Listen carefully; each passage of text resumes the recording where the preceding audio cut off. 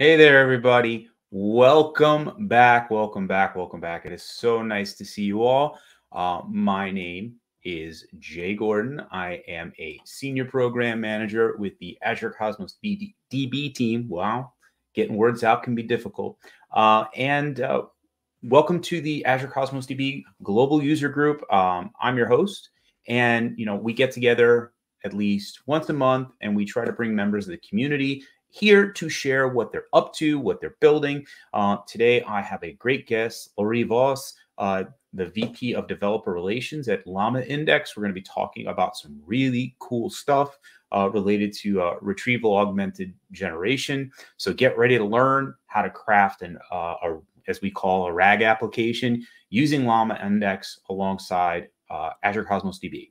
Now, before we do this, it is always important to get out some of our big, big moment, uh, big parts of our housekeeping. And from the Reactor team, I always have a wonderful partner in that uh, is Askia. Hi, Askia. How are you today? Good, Jay. How are you doing? Happy New Year. Happy New Year to you. Uh, so you always have some really important stuff to share with us. Uh, I'd love to hear what we've got going on and uh, what the reactor, some of the things that uh, we need the reactor, uh, I should say, people to know about uh, how to handle themselves here at one of the reactor sessions. Yeah, absolutely. Well, um, thanks for that. And uh, like Jay said, my name is Askia. I'm the facilities coordinator here at the Redmond Reactor Space. And we do have a few housekeeping tips just to go over. Um, we seek to uh, provide a respectful environment to all of our presenters and audience members. So we encourage engagement in the chat, but please be respectful, uh, be mindful of your commentary, remain professional, and we ask that you remain on topic. Uh, we will be sharing useful links throughout the chat, so keep an eye open for that. Uh, and for some reason, uh, if you missed part of it or you uh, need to review anything, uh, this session will be available for on-demand viewing on the Microsoft Reactor YouTube channel, and that usually takes about 24 to 48 hours before it is available. Um, that brings us to today's session. It's going to run, run approximately for uh, maybe an hour, and there will be time for questions throughout. So, with that said, I will hand it back over to Jay and let you begin. Thanks a lot, Askia. I will see you towards the end of our show. Always appreciate your help. Uh, so today we're going to be talking with a really great guest, uh, Laurie Voss. Um, we're going to be learning all about uh, retrieval augmented uh, generation, and uh, I just wanted to set some context for you. So um, I know we you, you, probably heard us mention uh, RAG pattern development. Uh, what is retrieval augmented generation? Well, let, let's talk a little bit about it for a second. Uh, retrieval augmented generation or RAG is like a smart assistant that looks up facts to give you better answers. It digs into big databases to find info, then uses that to respond to your questions more accurately. Uh, a RAG application is a type of software. It smartly pulls information and then helps you answer questions. So we'll learn more about this at, uh, at, at as the presentation goes on. So the next term that I kind of wanted to talk about is LLM. And uh, please uh, excuse if you hear my dog snorting. He's sleeping behind me. Uh, a large language model, or an LLM, is a type of AI that understands and generates human like text by learning from vast amounts of written material. So it's like having a big brain made of words that can chat, answer questions, and even create new content that sounds like it was written by a person. So if you've used ChatGPT or something like that, we all know it can help write big, big ideas based on some keywords and prompts that you give it and kind of helps make life easier for certain people. I think that's pretty cool. So a big part of building these type of applications is working with a vector database. And a vector database is a type of database that's really good at handling complex data like images or user preferences, which are stored as vectors or long lists of numbers. Uh, it shines in quickly finding and comparing these vectors to spot similarities, making it perfect for things like recommending a movie or identifying a photo. Essentially, it's a go to tool for any task where sorting through and making sense of intricate, unstructured data is key. And uh, just to kind of wrap up before I bring in Laurie, um, we're going to talk just a little bit about how uh, Azure Cosmos DB for MongoDB vCore fits in.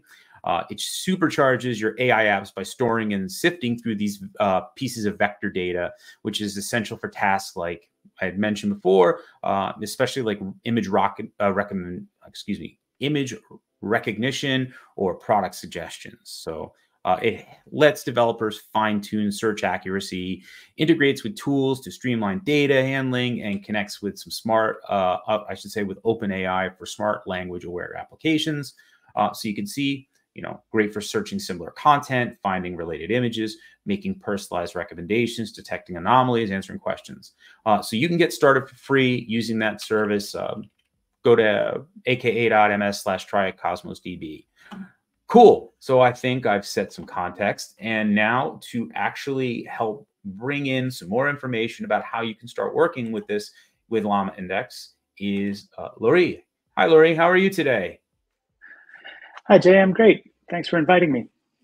I, I you know, before we started uh, this and we were talking, I, I was just saying about how you and I have probably been talking on the internet for years on Twitter, going back and forth on whether it's technology, life, silly things doesn't matter uh, we, we've talked about a lot of cool stuff in the past and you know i had this idea that it would be really wonderful to get you part of this show to be able to kind of learn a little bit more about the product you're working on which is is very very much um, important to people like uh, our audience who wants to build these uh, rag uh, forward applications but before i want you to start presenting i want to just ask a little bit about you um, so you're the developer relations VP at Llama Index. Mind telling me a little bit about how you got into a position like that? Uh, sure. Um, it's been uh, a long and twisty journey, really. Um, I started out 27 years ago uh, as a web developer. Um, I was a front end developer and then a back end developer. I became a DBA for a while. I was an ops guy for a while. Um, in 2013, um, I did a uh, developer focused startup. Um, we did analytics for social media. Um, and uh, then in 2014, uh, I co founded NPM, um, where we were deeply immersed in the world of JavaScript uh, for uh, you know four or five years there before Microsoft uh, took it off our hands.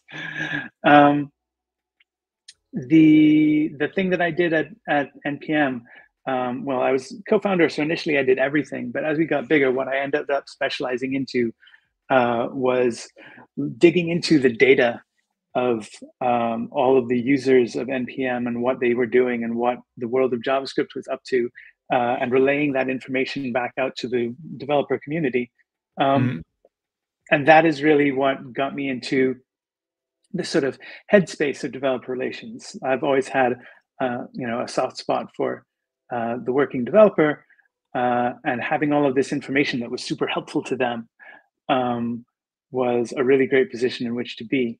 Um, so uh, I took another little sidetrack uh, to work at Netlify after NPM. I did uh, data science there, got even more into data.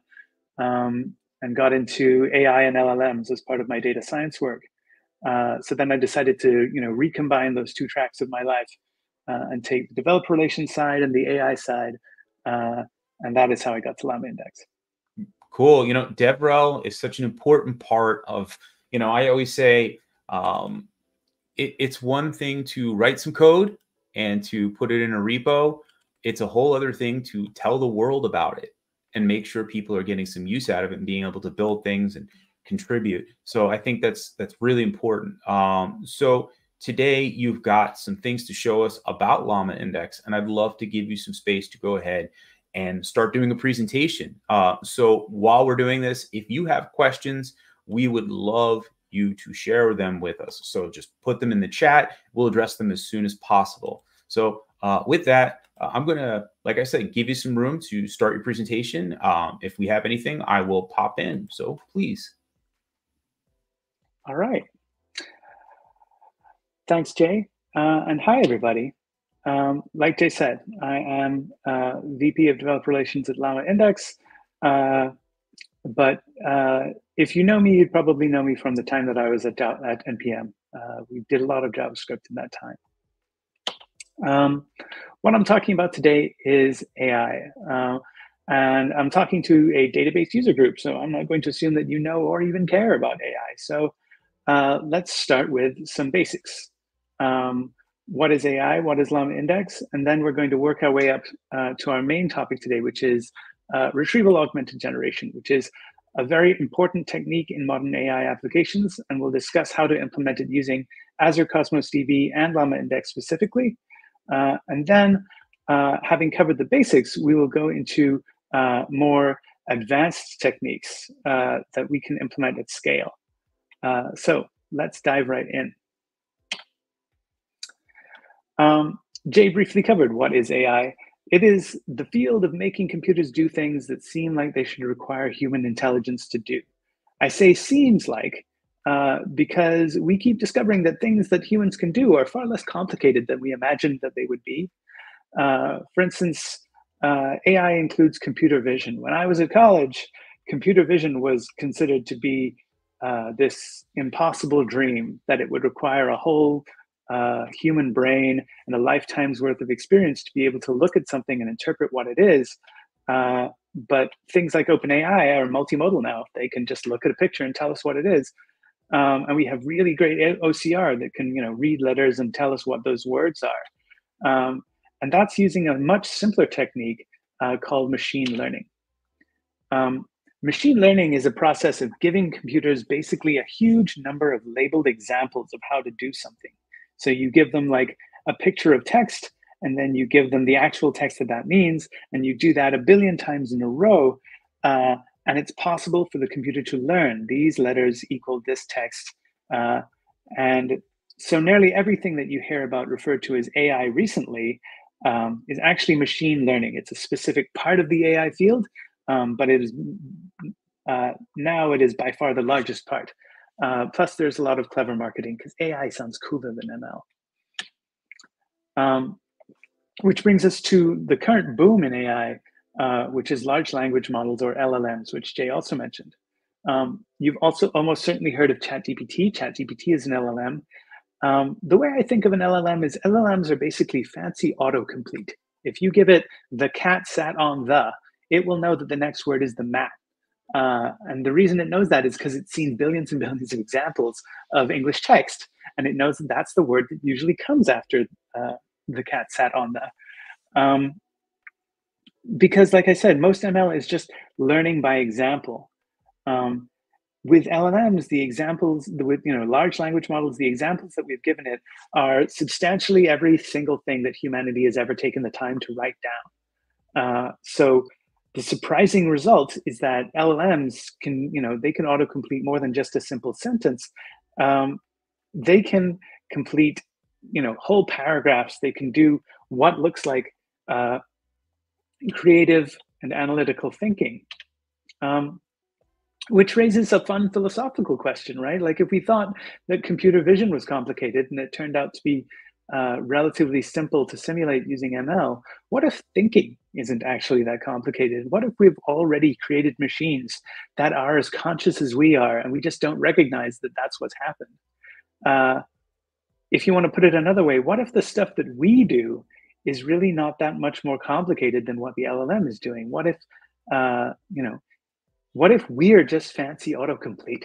What if we are the sum of our experiences and we're just like filling in the next word frantically all the time? Uh, it's kind of terrifying to think about, honestly, uh, and it is not what we're going to be focused on today.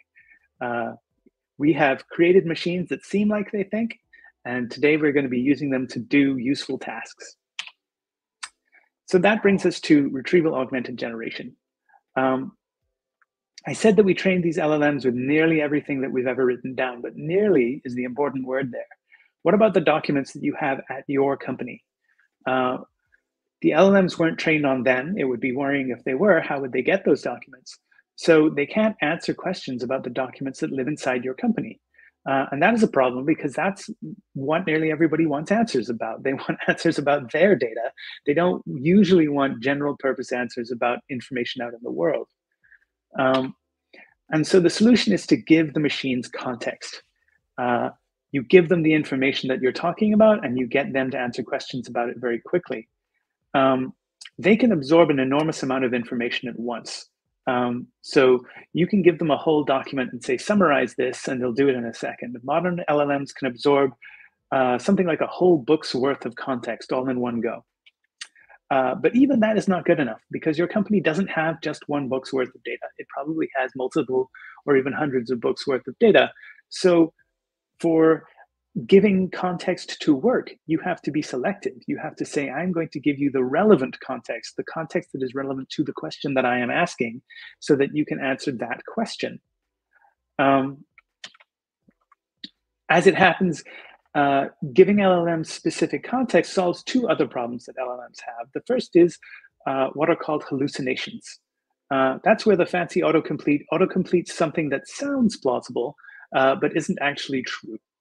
Um, with retrieval augmented generation, you're able to instruct the LLM to only work with the information that you have just given it. Don't hallucinate, don't make up something plausible, use only the information that I've just given you.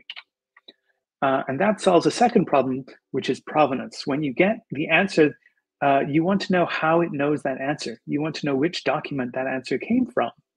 Um, when the answer comes from the LLM's giant pile of training data, there's really no way for it to tell you where it learned some specific fact or whether it was making it up. Uh, but with retrieval augmented generation, you've just given it the context. So it can point at the specific document that it was just looking at and say, this is what is true, and this is why where I got that information. That is a very useful thing for a machine to be able to do.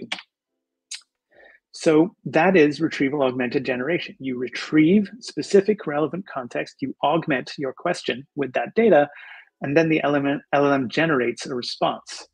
Uh, but that leaves open a very big question, which is how do you retrieve relevant context? Uh, the relevance is the important part there. It turns out there's a really nifty mechanism that makes this work really well that also comes from the world of machine learning. When LLMs learn information, what they're really doing is converting it into numbers, specifically the types of numbers called vectors.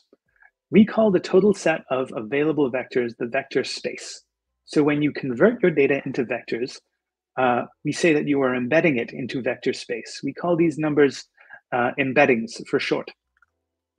So in this example, you can see the cat sat on the mat, the dog sat on the frog. These turn out to be points in vector space.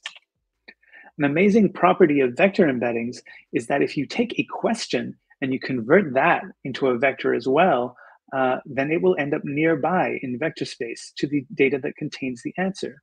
So you can see the cat sat on the mat turns into the red dot. The question, where did the cat sit, turns into an orange dot. And in vector space, these are nearby to each other. Uh, this isn't keyword matching, it is encoding the meaning of the question.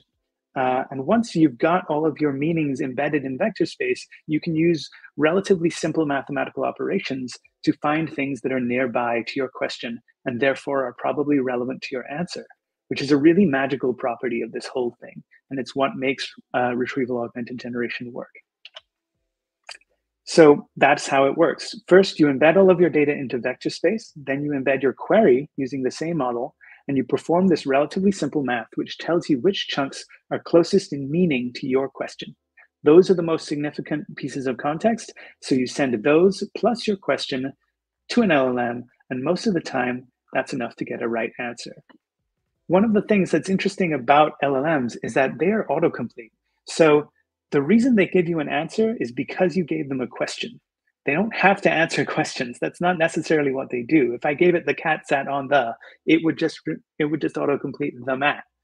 Uh, but because I give it a question, the thing that usually follows a question is an answer, and so it gives answers. So all of this so far has been the basic theory. This is how does but how does all of this stuff work in a real application? Let's think about the architecture of a real retrieval augmented generation application uh, and step through the stages of that. So first, you get your data wherever it is. Your data can be in lots of places. It could be a pile of text. It could be PDF files. It could be Word documents. It could be sitting in Slack or Google or uh, Microsoft Teams or Google Drive. It could be sitting in a SQL database or behind an API. So this process of loading your data into your application can be quite complicated. Once you've got all of your data, you have to embed your data into vector space so that you can find the most relevant data later. That is the indexing phase. Uh, you give your data to an embedding model and you split it up into lots and lots and lots of tiny chunks. And then you give you give those chunks to the embedding model, it turns them into vectors, uh, and you go to the next stage, which is that you need to store all of those vectors somewhere. This is usually done using a specialized database called a vector store, which is optimized to be able to search through vectors uh, and do that simple math that I was talking about to be able to find stuff nearby in vector space. This is obviously where uh, Azure Cosmos DB is going to come in. This is the storage phase. Then there's the phase we call querying, which is really a combination of three different things. First, you have to retrieve your context, like I said, based on what your query is. And then there's a variety of strategy, and there's a variety of strategies to do that. Um, but then you combine your context and your query with a finely tuned prompt, uh, which is just a set of instructions to the LLM about how to answer the question. Uh, and you combine your context and your query and your prompt, and you send that to the LLM. You call that stage synthesis, and the LLM then returns results, which you can then further post-process. For instance, one of the things you can do uh, is in your prompt is you can say return JSON instead of plain text. Uh, and then you, your post-processing stage can make sure that, it, that what has been returned is valid JSON. All of which now brings us neatly to Llama Index. Uh, all of those stages of an application, getting those right, uh, is a lot of work. Llama Index is a framework for doing all of that work for you. It is a framework for building RAG applications. It is open source and it's free, and it's available at llamaindex.ai. Um, we have versions available in both Python and TypeScript. Um, today, I'm going to be using the Python version since it has better support for Azure Cosmos DB. Uh, Llama Index also provides a registry called Llama Hub, uh, which is at llamahub.ai. Um, the hub provides a huge library of software to help making make building RAG applications easier. Uh, I mentioned that the loading phase can be tricky because there's so many places that your data can be. Llama Hub provides hundreds of connectors that connect to your favorite data source and make it a lot easier. Um, Llama Hub also includes tools for agents, which we're going to be discussing later. Later, uh, it includes data sets for testing, uh, and it includes pre-written code snippets, which we call Llama packs, which again help you get going faster with various techniques. Thirdly, and most importantly, Llama Hub is a way to get your AI creations into production. Uh, there's a lot of ways that we facilitate that, but one that's got a lot of traction recently uh, is a command line tool called Create Llama, uh, which you can run by just running npx create llama if you've got Node.js installed. Um, it is loosely based on how cr the Create React app used to work. It's an application generator uh, and it what it produces is a ready to ship RAG application with a working front end and a back end in your choice of serverless TypeScript or Node.js or Python. Um, but today I'm going to be doing one better than that. I'm going to be providing you with an open source repo for an AI application that works with Azure Cosmos DB specifically. Uh, by default, Llama Index uses OpenAI as the LLM uh, because it's easy and everyone knows it. Um, but we support more than 25 different models and APIs, including local embedding models and LLMs. So uh, we're going to be using OpenAI today, uh, but we don't have to. There are lots and lots of other ways to get your uh, to get your LLMs working, including running on your local machine. Uh, we also support over 30 data vector databases such as Azure Cosmos DB and dozens more. It's a very crowded category. We are an extremely batteries included framework. Um, in addition to all those LLMs and vector stores and all the connection libraries on, on Llama Hub, uh, we provide advanced retrieval strategies right out of the box, as I'm going to show you today, uh, including agents, that is semi-autonomous uh, pieces of software. Uh, and we also handle multimodality, so that is images and audio in addition to text. Um, we also have integrations to support observability uh, and an array of tools to allow you to run evaluations. I couldn't possibly cover all of the stuff uh, that we do in the time that we have today. So uh, today I'm going to focus on getting up and running using Llama Index uh, and Azure Cosmos DB.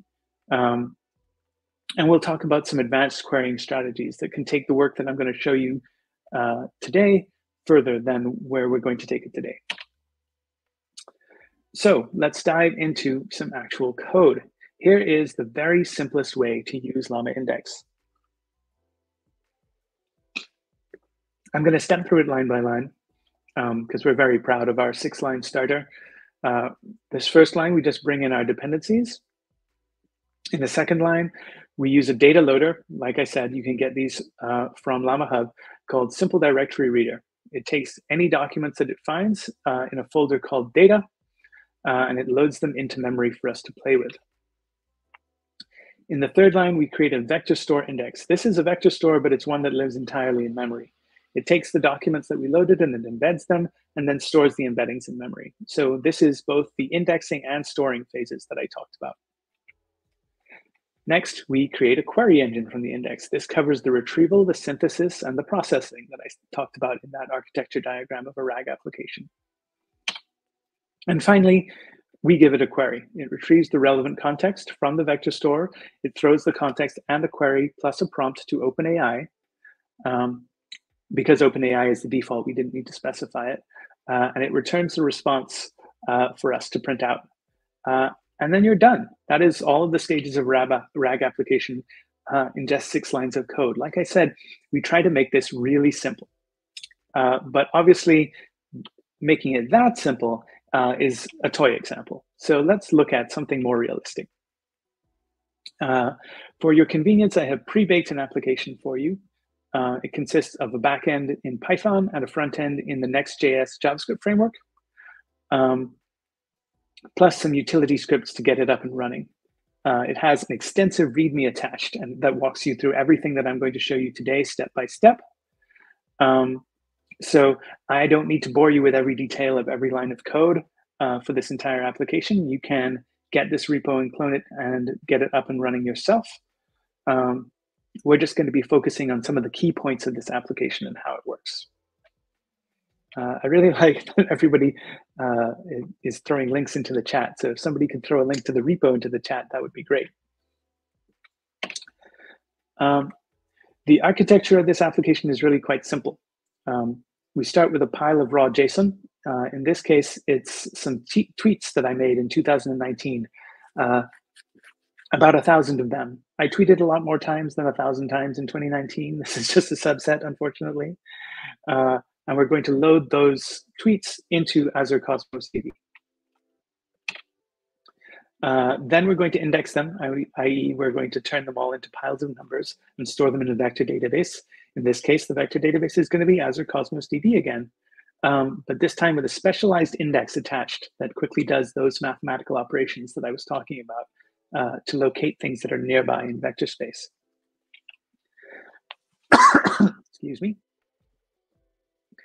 And once we've got that pre-indexed vector database, that's what we're going to give to our Python backend. The backend will accept queries uh, from our front end, do the retrieval augmented generation, and return responses. So let's get into that. The first thing we need to do is step through the steps of uh, getting our database up and running. We need to get ourselves an Azure Cosmos DB cluster to do all of this stuff with. I'm going to step through these really quickly because this is your database. So I'm going to assume you're very familiar with how you get it up and running. So in the console, we select create. Uh, we need it to be a MongoDB API. Specifically, we need it to be a vCore cluster.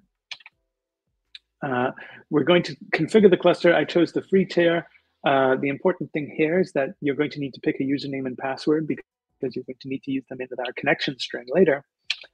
Um, and for networking, we're going to be wild and crazy um, and leave it open to the entire internet, which isn't a good idea, uh, but it's fine for a demo. Uh, and finally, we go to our connection strings and grab our connection string, which is what we need for the next step. So this is the first script in our repo. It is called uh, import. Um, and this is basically the whole script. There's nothing Llama Index specifically here. All I'm, all I'm doing is uh, setting up a MongoDB client, connecting to our database, uh, and loading in the tweets. Um, if you have some data that you want to use yourself that's already in a Mongo collection in Azure Cosmos DB, then you can skip this step entirely. You can read, uh, you can use your JSON instead of my JSON. Um, for this thing, it need for this thing to work, it needs the connection string. You can see it passing the MongoDB URI uh, that we just got from our cluster, and we need to give it a, a database name and a collection name. Uh, next, we need to load the generic data that we put into a generic Mongo collection uh, into the specific document objects that Llama Index needs to work. Uh, to do this, we use a loader from Llama Hub um, and this happens in a file called uh, load and index.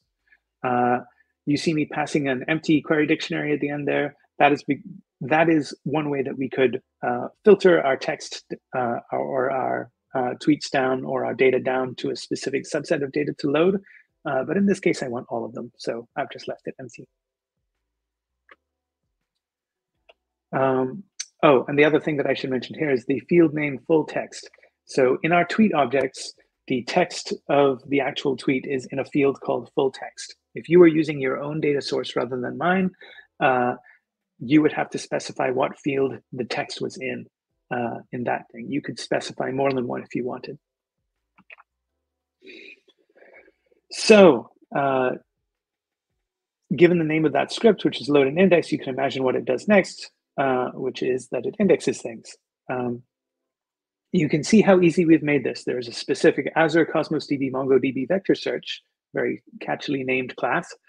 Um, it takes a Mongo client, it takes the same database name that we gave it before, and it takes two new names. Uh, it, it needs a collection name that we're going to uh, store our vectors in, and it needs an index name that we're going to use for the uh, vector index.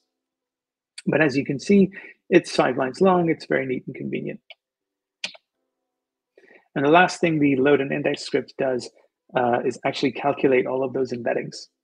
Um, so it creates a storage context, including the vector store that we just created. And then it creates an index from those documents and that storage context. Uh, to do this, it's making API calls to what is called an embedding model. Uh, you can have a local embedding model if you want to. It's just you know converting text into vectors. Um, but in this case, we are by default going to be using OpenAI's embedding model. So we're not using the OpenAI LLM here. We are using a different API from OpenAI uh, for calculate for converting text into vectors. Um, because we have to make, like I said, we split our text into lots and lots of little chunks um, before we embed it. This means that you have to make a whole lot of API calls to get this done. So this stage can take a while. Um, but luckily, you only need to do it once. And then once everything is embedded, it's very fast to work with. Uh, the show progress equals true there uh, means that when you're running this on the command line, it shows a nice little progress bar. So you don't have to uh, just be blindly waiting several minutes while it does the calculations. And so that means we're ready to query our data. Our database is already prepped. Querying is just two lines. You create a query engine, um, and then you run your query and you get a response. Uh, there's an extra parameter here, which I should explain, which is similarity top K. Um, by default, uh, the number of pieces of context that our retriever will retrieve is two. Uh, that is because it is expecting to have split up like a large text document into paragraphs worth of text. Uh, but tweets are small. So uh, I wanted to have more than two tweets uh, to be able to answer a question. So I've set my similarity top K here to 20. So it's going to retrieve 20 tweets basically. Uh, the remainder of the repo, if you're following along on GitHub, um, is the process of setting up a backend and a front end uh, to do this querying in a web app. If you are interested in that part, I recommend following along in the repo. My example deploys to render, uh, which I realize is not a very Azure thing way of doing things.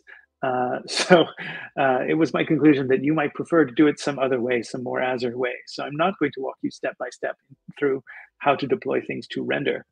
Uh, instead, let's skip straight to a very, very quick demo. So you should now be able to see my demo application. Uh, it's a very simple React front end that sends basically one piece of text to a single API endpoint on the back end. Uh, let's ask it questions about me. What? How does the author feel about Star Trek?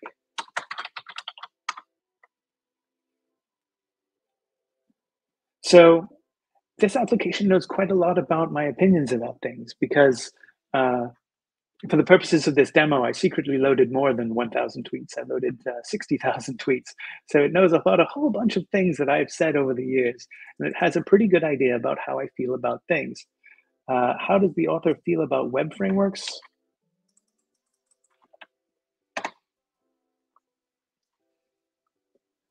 I have all sorts of feelings about web frameworks, it turns out. Um, think about what it's doing here it's not finding a piece of information where I said, here are my feelings about web frameworks. What it's doing is doing a retrieval in vector space of everything where I appeared to be talking about web frameworks. It's looking at all of those pieces of text and then it's summarizing them down uh, to this con condensed version of how I feel about uh, web frameworks. This is a very complicated piece of information about which it really understands this is a truly magical feature of how uh, LLMs work in general and how RAG applications can work. So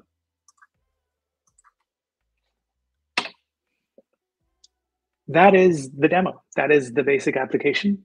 Um, but uh, that is the most basic way uh, that you can put together a RAG application. All it's doing is just looking at all of the tweets that exist uh, and trying to find the 20 most relevant ones. Um, there is a lot more that you can do. There's a lot more to go beyond this. Um, it works pretty amazingly well, uh, given that this is the most basic implementation of RAG that you could possibly imagine. Um, but real world applications have more demands. Uh, sometimes it's scale. Um, sometimes you just have more documents. Sometimes they require more precision uh, or provenance, especially have really big chunks. Uh, and sometimes things are just more complicated. Tweets are very simple. They're just little strings of text, but documents uh, can be really complicated, as we're going to see. And we actually have a question about documents, uh, if you don't mind, just to take a quick interlude. Uh, Absolutely. Pamela, Pamela wants to know if uh, Llama Index can ingest PDFs, HTML, and CSV, DocX, PPTX. So, like, pretty standard file extensions that uh, people use for sharing information. Yep, it can do uh, these. In fact, the simple directory reader that I showed you uh, can read almost all of those by itself. Uh, it is an extremely capable reader. And we have one more question from Pamela, and then I'll let you continue. Um, has Llama indexed on tests on non-English content like CJK languages? we've gotten some issues reporting regarding ingestion, like punctuation for those? Uh, that is an excellent question. Um, Llama Index works fine with those things. Uh, what doesn't necessarily work fine with those things is OpenAI.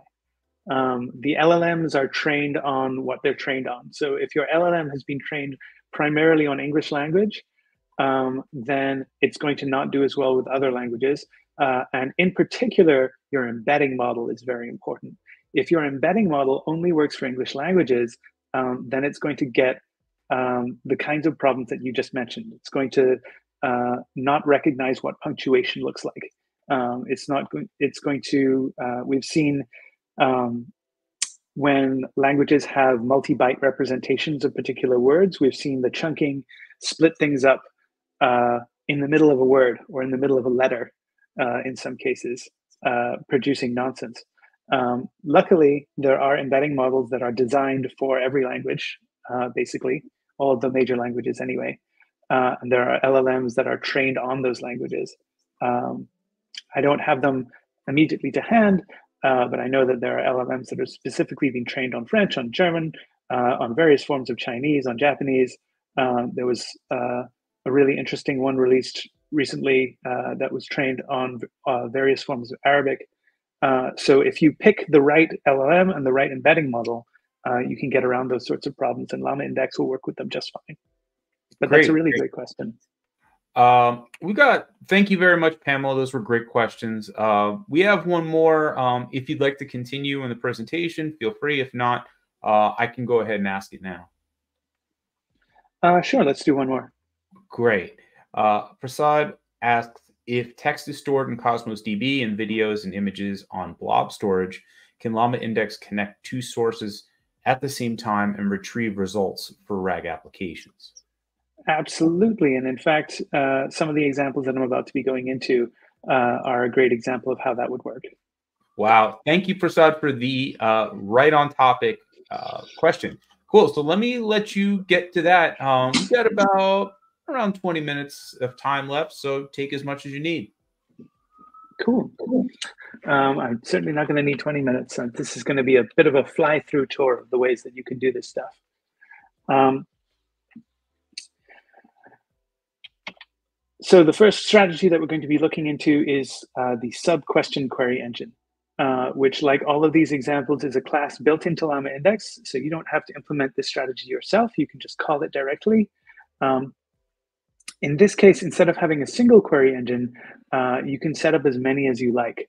Uh, and you give each one a description of what has been indexed. So uh, to Prasad's question, that you could one of the things that you could do is you could say, uh, you know, this index is an index of all of the text that I've written. This index is an index of a whole bunch of images, and this index is a bunch of, of video.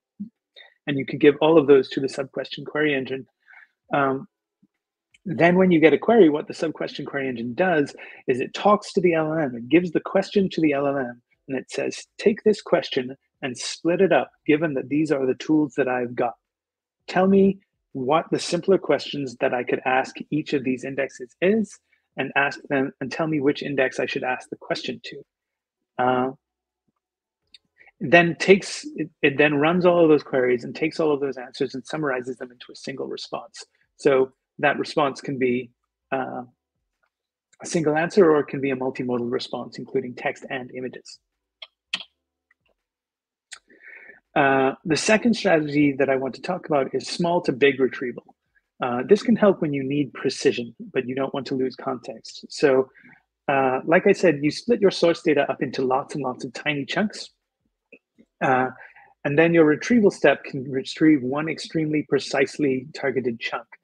Uh, but that chunk by itself not might not be enough to answer the question. Imagine you were looking for, uh, you know, your data was about um, real estate and you were looking for a specific house, uh, but the in, and you found the address of the house using retrieval, but you need to know the information around the house that surrounds it. So you can use uh, small to big retrieval to fetch the chunks before and after, uh, as many of them as you think you need, uh, and give those to the LLMs that it has full context before it answers the question. A third tactic is metadata filtering. Uh, this is a tactic that's great when you have lots and lots and lots of documents and you want to scale up. Um, what it's doing uh, is it's making use of the fact that you already know quite a lot about your data already. You could just give uh, your vector database all of your documents uh, just blindly, um, but you probably have some metadata about those documents already. For instance, you probably know when those documents were created. Um, so you can tag your data with any metadata you've got. For instance, you could tag it with the year that it was created. Uh, then when the LLM gets the gets a query, it can look at the types of metadata available to it, uh, and it can automatically run a filter. Like it can literally call the database filter and says, filter these documents down to documents from 2001 before you give me the uh, queries. Uh, sorry, before you give me the the uh, context, and then it takes within that smaller set, it does the uh, vector search that we talk about. Um, the uh, closely related to that is hybrid search. Um, we've been talking so far about vector search. Vector search is amazing. It is searching by meaning. That is groundbreaking stuff. Uh, but we've also spent 30 years getting really good at keyword searching, uh, stuff like Google. Um, and there's no way, no reason to throw all of that work away. Uh, using hybrid search, you can have both a vector index and a traditional search index, give them both the same set of data, and you can blend your results. So if the keyword search thinks that it's found a really great result, and the vector search thinks it's found a pretty bad result, or it's not very confident, uh, your blended results will give you the keyword matches instead of the vector results. Um, this is a really great tactic and you can you know you can slide you can basically adjust a slider uh, of how much weight you want to give vector search versus how much weight you want to give keyword search. And it's a great way of uh, improving your accuracy. But what if your problem isn't scale across lots of documents, but complexity within a document?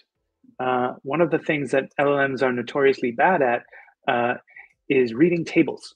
Um, but ordinary machines, uh, ordinary computers find tables pretty easy to parse. Tabular data is what you know computers are good at. Um, so what you can do is instead of getting the LLM to try to read a table, uh, you can give get the LLM to read a tool. Um, so for this strategy, instead of just splitting your data in blindly into text chunks, you can detect when you're looking at something like a table or something like a chart, uh, and you can assign specific tools to read them. For instance, in Python, there's a great library called Pandas, which is really great at uh, um, interpreting and manipulating uh, tabular data. So you take the text data and you you take the table and you split it up and put it into pandas. Um, the LLM is capable of writing accurate code to utilize pandas to query the contents of the table. For instance, it could sum up the values in that table. Uh, it can do that and then combine it with the ordinary text nodes to give uh, an accurate uh, answer to a complicated question that involves reading a table. Similar to uh, that technique, which is called recursive retrieval, um, is text to SQL. Um, much like an LLM can write pandas commands, if you give uh, your LLM the schema of a database um, and access to that database via a tool, uh, more advanced LLMs are capable of writing valid SQL to be able to query that database. Uh, if your table is if your data is already in giant SQL tables, this can make a lot more sense uh, than turning it all into vector into text and then embedding that text into vector space. If you have very specific, if you have already have very highly structured data, uh, then there's no reason to unstructure it and then attempt to query it. You can get the LLM to run structured queries, uh, which of course it can then combine with other contexts to answer a more complicated question. And our final stop on this whirlwind tour of strategies is multi-document agents. Uh, I mentioned very early on that Llama Hub has tools uh, that you can use uh, to build agents. Um, like I said, with the you know the Pandas tool and the text to SQL tool, you can find those on Llama Hub. Um, but what a multi-document agent does is essentially it allows you to combine all of these strategies into one, somewhat like uh, the sub-question query engine does. Uh, you can define as many tools as you want. So one could use metadata filtering, another one could do hybrid search, a third could be doing text to SQL, and each of them could be pointed at different data sources, like Prasad's question earlier. Um, the agent then receives a question and it decides which tool or tools are the best to answer it, and it can run queries against those. One of the neat things about agents is that they are autonomous. So if an agent runs a query against a tool and it gets a nonsensical answer or it doesn't find the answer to the question, it can interpret that and say, okay, I didn't get the answer. Let me try a different tool. Let me try again with a different question. Um, and it is smart enough to keep trying those other tools uh, until it eventually has enough context that it can properly answer the question. Uh, the ability to compose strategies this way, uh, by which I mean combine, you know, all of these different techniques that I've talked about into a single very powerful tool, uh, is a really great way to scale up uh, to a real world application. And uh, the great part is that you don't have to put together all of this stuff from scratch because, like I said, Llama Hub has pre-built tools that you can download. Speaking of pre-built things, uh, if you want to see a more complicated example than the ones that I've been showing you so far, uh, we have an open source website called secinsights.ai. Um, it is a website that you can try out and also an open source repo that you can look at. Uh, what it does is it parses and compares financial filings um, from a variety of companies across a number of years. Uh, and it's a great way to see these strategies that I've been talk that I've been talking about uh, and dig into the code and see how they are done. So to recap all the stuff that we've covered today, we discussed at a high level what AI is. We delved into what RAG is more specifically. including how vector search works. We then covered Llama Index, what it is and why to use it, including associated tools like Llama Hub and Create Llama. Uh, and next, we looked at a real working open source application using Azure Cosmos DB uh, for MongoDB specifically. Uh, and then we wrapped up with a quick tour of what your next steps might be in terms of customizing an application for greater complexity or scale or performance. Um, I hope this has been a useful introduction to the power of retrieval augmented generation and AI in general. Um, this field is very, very new and everyone is learning at once. So uh, there's never been a better time to dive in and give it a try. Uh, and thank you very much for your time and attention. Thank you. That was fantastic. I, I learned a ton in this. And, um, you know, one of the questions that I had, and then we're to I think we got another great question from our audience. Uh, Prasad has another wonderful question. Um, you know, deployment methodologies uh, for when you're going to take this into production. Um, are there any like preferred architectures, uh, say using microservices or something like that, that people have built uh, utilizing Llama Index? Um, yeah, I mean, intrinsically, uh, intrinsically what you get when you produce a Llama index service is usually a Python application. Uh, and it is the world the world of web development doesn't really use Python. Mm-hmm. Uh, so it's a really great um, it's a really great application of microservices because you can encapsulate all of your Python into your backend API.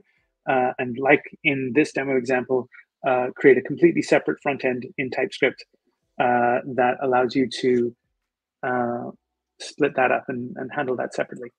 Fantastic. Um, we're gonna uh, say, you know, uh, Romy uh, loves this. Says it's great. Really happy that there is a GitHub repo so start building stuff right away.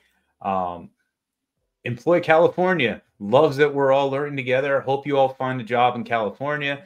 Um, we've got some other questions. Uh, one of them is uh, how does one assess the query retrieval accuracy of hybrid search for providing weightage for vector search and keyword search? Is it by trial and error based on results provided and adjust the weightage?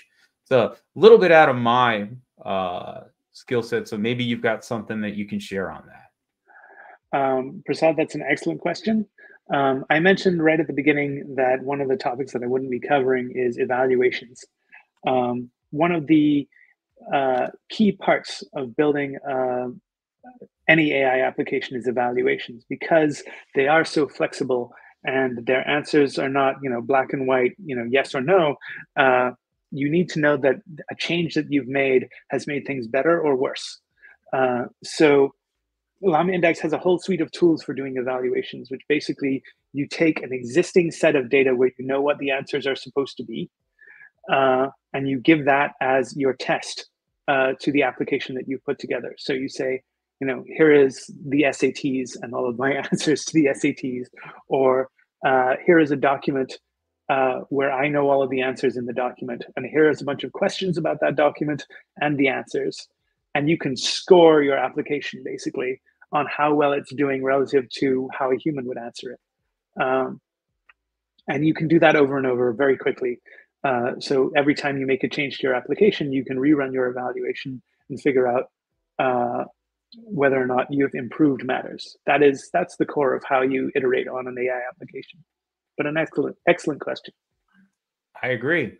Well, I think we've just hit the end of our question and uh, answer session, and we want to start wrapping up.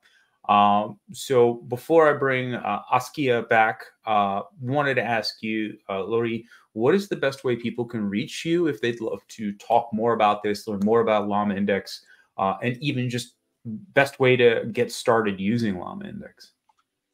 Uh, so llamaindex.ai is our homepage. We have um, our documentation is extremely extensive. Um, we also have a very big Discord that you can join from that page. Um, we have a mailing list where we send you tips and tricks every single week.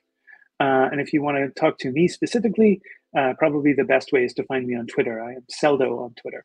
Yep, you can see right down there. If I can point to you, there we go. I'm pointing down in that direction. you can see uh, at Seldo. Uh, great. So let's bring in my uh, regular partner here at uh, the reactor. Uh, Askia, how are you? Did you learn something? Do you feeling good about it? Yeah, that was excellent, Laurie. Thank you so much for uh, that, and I want to thank the audience for some excellent questions as well. Um, you know, I am not a tech person, so uh, a lot of times stuff goes right over my head, but um, I definitely learned a lot. This was uh, it was great. So I thank you so much, and thank everybody for attending. Um, we would love to hear what you have to say. So Jay has uh, so kindly put up our survey link. So if you could take some time to just give us a feedback on the session, we will use that uh, to improve and tailor uh, our future uh, future events. So once again, thanks everybody.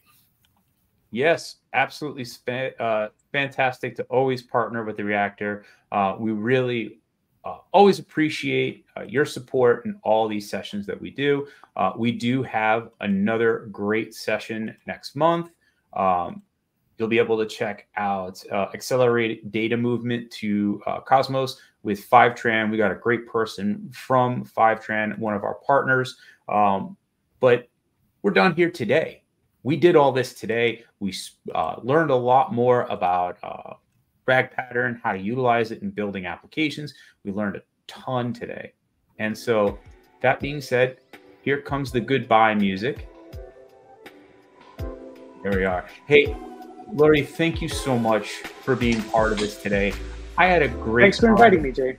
Absolutely. And we'd love to have you back in the future. If you got something new and great to show us, we'd love to have you a part. Cool. Great. Uh, Askia, I will see you again next month. Thank you always.